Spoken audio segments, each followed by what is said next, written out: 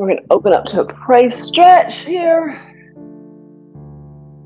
Thumbs down, push back, there's your biceps, and then take it back, lowering and going back further.